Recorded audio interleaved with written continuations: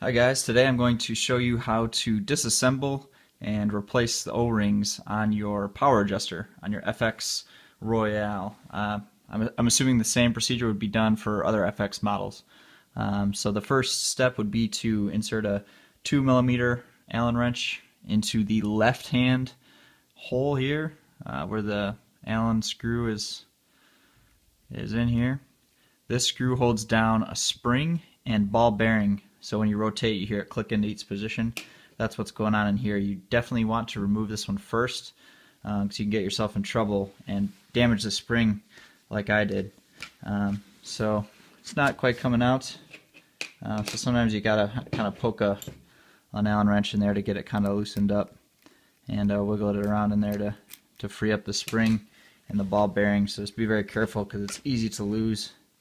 Uh, see, I got mine out of there now. Here's the spring and set that aside. You gotta be very careful not to lose. And then the ball bearing just rolled out as well. There we go. And don't lose it like I almost did there. Okay, now so the uh, second step would be to remove the second Allen screw here.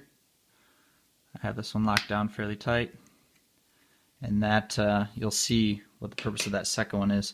So now the power adjuster is actually free to pull out. A little bit of effort. Um, and so this is the assembly here. The right Allen screw locks down this section and the left, uh, which allows the rest of it to rotate. And you can see it um, adjusts the diameter of the transfer port. Um, so you got that really small hole, really large hole for high power, and a medium hole.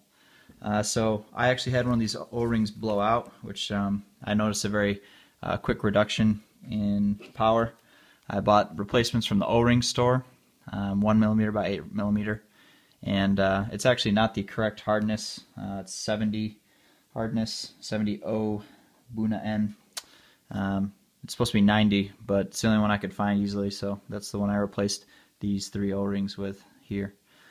Um, so to reassemble, um, you just put it back in in reverse. If you want to actually take these two pieces, these rotating pieces apart, um, you would uh, remove this center Allen screw there, and these two pieces then become free.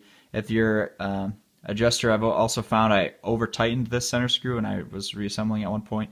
Uh, that it became very hard. Uh, these two pieces would not turn. Um, so to reassemble, if you're interested, um, I just line up the slot to be vertical along with the it doesn't really matter what orientation the hole is in. Um, so you just want to make sure that this slot is faced up and so it'll align with your locking screw when you slide this back in here. Uh, so then you take uh, your locking screw, which I left in there, uh, just turned out, so you just turn this back in.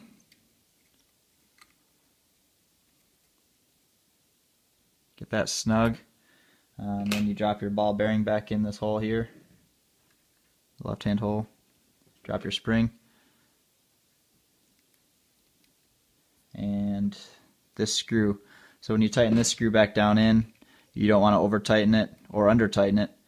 Um, so what I do is I just screw it in there until I start feeling tension. So now you're pressing the screw against the spring.